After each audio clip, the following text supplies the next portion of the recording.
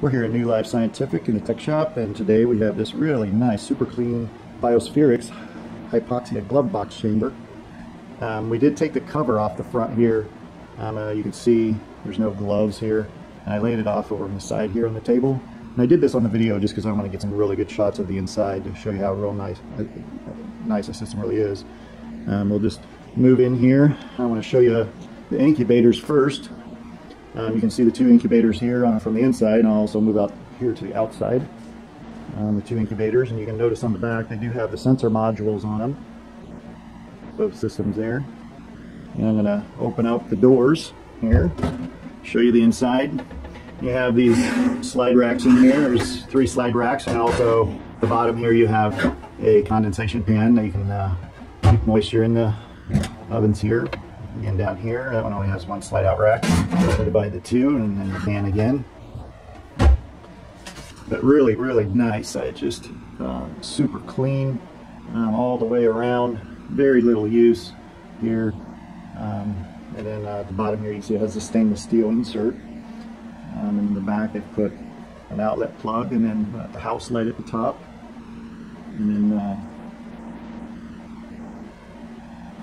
And over here you can see has the pass-through chamber. You can open this up here.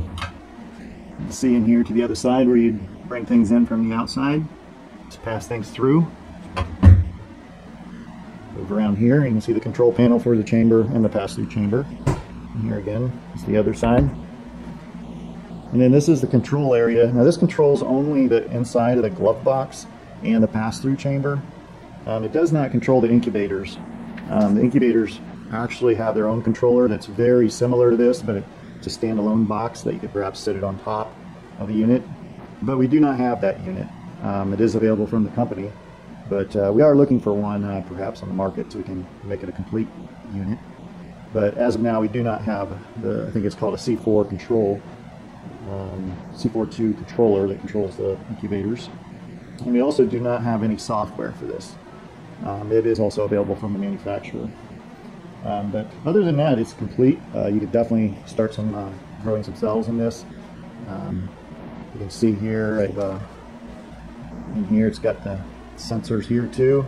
This is very convenient. Uh, got this that slides out to get easier access to the inside of it. But you can see here all the work chamber pump there, the O2 sensor, CO2 sensor, and the RHO3 sensor, and then the buffer chamber, which is um, what I just showed you there. It also has a pump and a sensor for there, and then you got, of course, all the controls inside.